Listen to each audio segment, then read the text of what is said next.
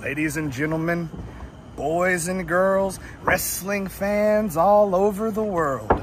As you can see, times are changing here at Sadistic Wrestling. So much so that there's a there's a name brand change. There's a there's a change coming to everything. We are no longer Sadistic Wrestling. We are now the Sadistic Wrestling Federation. Oh yeah, that sounds a lot better. That rolls off the tongue a bit smoother. And as you can see, to grace to grace our new arena of combat, our our podium of pleasure, our Hall of Heroes, if you will.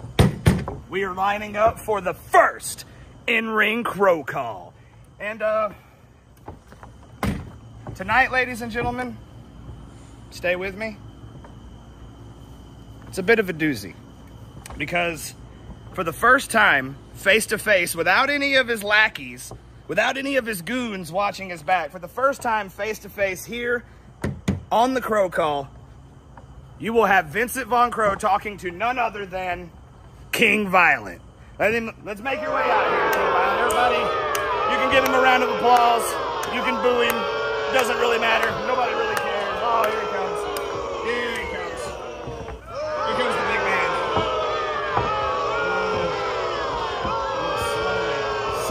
making his way to the ring. Gotta let the tension build.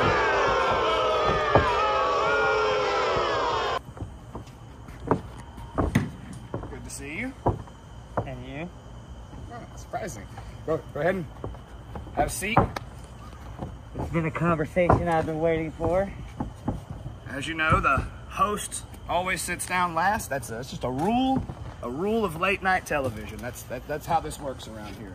Late night television. So, always on the Krow Kall, I offer my guests some of the the best ale that you could ever have right here. Von Crow Ale. Krow Kall Ale. M- Join the murder. That's what we say around here on the Krow Kall. Join the murder. Right there, right there on the on the bottle. So, um, would you care for a bit of my Krow Kall Ale? Or? Well, actually, I tonight would like to, uh, I got my own beer here.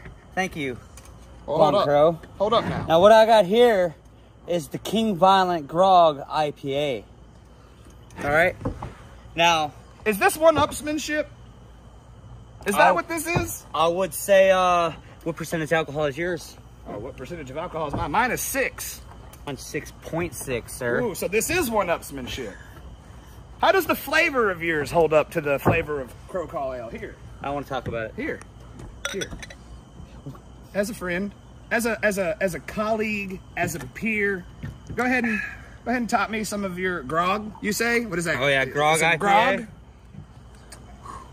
Grog. Okay. Okay. Some pirate uh, Indian Pale You know, Ale. they, they say when a, when, a, when a beer foams up with a very large head, that is the, that's the oxidation. That's oxygen coming into the beer, makes it more palatable for the stomach. I, I noticed yours had a had a very weak head, but we'll we'll see. They also say that when you have this much head in a beer, it's because you don't know how to pour a fucking beer.